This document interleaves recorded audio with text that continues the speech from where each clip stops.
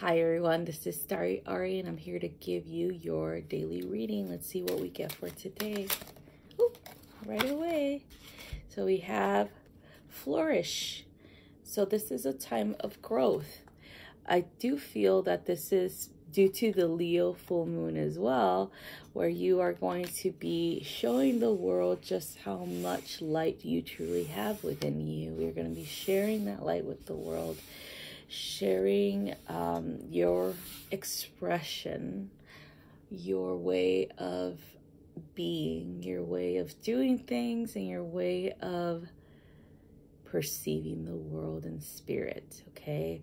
I also feel like this is a time to step into a more leadership oriented role, meaning that if you've been just standing there by the sidelines and just observing everything, you are being placed in a position of authority for the benefit of others so that you can assist, okay?